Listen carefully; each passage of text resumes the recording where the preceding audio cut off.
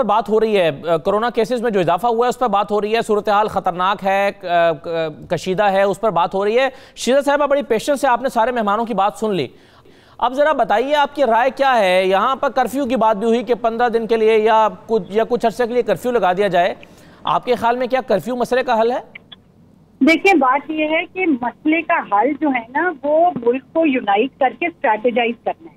वो तो अभी तक नहीं हुआ। आइसोलेशन में मसले का हल नहीं होता। ये हम्म। गाली गालम गलोच दे के ऑपोजिशन को मसले का हल नहीं निकलेगा। आपने हमें कंफ्यूज कहना है आप हमें कंफ्यूज कहें आपने जो कहना है आप कहें।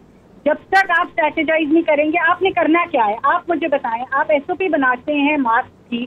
आप कहते हैं पाकिस्तान में मास्क बनना शुरू हो गए क्या इस वक्त मास्क आप मुझे नेक नियति से बताएँ अवेलेबल है मार्केट में और अगर अवेलेबल है तो उसकी कोई प्राइस कंट्रोल है हम्म। क्या वो आम आदमी के लिए अफोर्डेबल है? आपने ये करना है।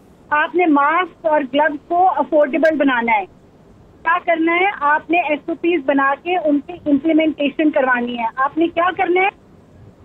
लैब की प्राइस रेगुलेशन करनी है। दो हज़ार से ढाई हज़ार की किट आती है।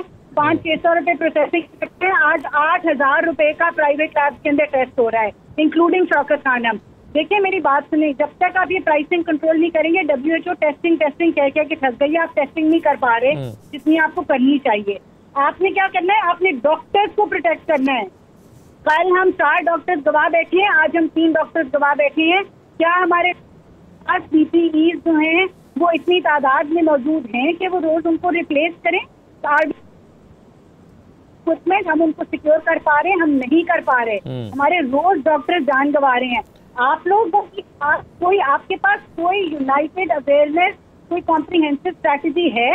क्या आज किसी को मेरे घर में भी इस वक्त तीन कोरोना मरीज़ है जो नीचे बैठे हैं? हम्म। एक सीरियस थे दो नहीं थे। सिर्फ़ जो हमने प्राइवेट डॉक्टर से कंसल्टेशन किया है वो हमें थोड़ी बहुत पता चलती है कि क्या तदाबीर अपनानी है पेशेंट को किस तरह ट्रीट करना है किस तरह हैंडल करना है। क्या हुकूमत ने एक गरीब आदमी को मेरे पास रिसोर्सेज है अल्लाह का बहुत शुक्र है।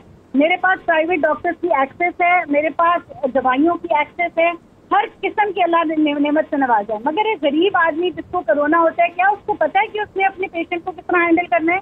एक एक घर में एक एक कमरे में दस दस लोग रह रहे हैं। आप कन्वीनियंटली क्वारंटाइन आइसोलेशन की बातें करते हैं। आपने कभी उन लोगों का सोचा है कभी उनको समझाया है कि उन्होंने अपने पेशेंट को किस तरह हैंडल करना है?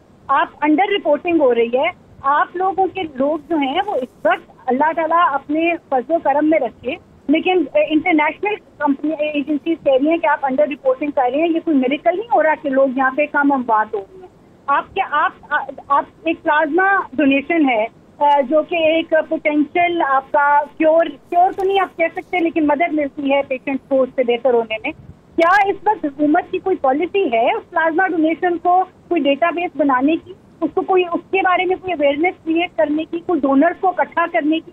हम्म। कोई पॉलिसी आपको कोई स्ट्रैटेजी है आपके पास? तो आप उस स्ट्रैटेजी की बात करें। हम कंफ्यूज हैं हम माफ़ी चाहते हैं। क्या वज़ीर आज़म को कोई बताएगा कि ये गर्मी से वायरस मरता नहीं मरता। क्या, क्या वज़ीर आज़म को कोई बताएगा कि नौजवानों को जो है ये वायरस होता है। हाँ। क्या वज़ीर आज़म को कोई ये जाके बताएगा कि ये फ्लू नहीं है? ये हम्म। एक जानलेवा बीमारी है। एक दिन वज़ीर आज़म अपनी तकरीर कर रहे थे टीवी के ऊपर और बोल रहे थे ये जानलेवा नहीं है आप परेशान ना हो ये फ्लू है। उसी दिन दो घंटे बाद पंजाब हुकूमत का फ़ोन पे एक ऑटोमेटेड एक दफ़ा कॉल आ गई कि ये जानलेवा बीमारी है। अगर आपको आप बीमार हैं तो आप हॉस्पिटल आ जाएँ। हम्म। मतलब इस हद की कंफ्यूजन और डिस और एक, एक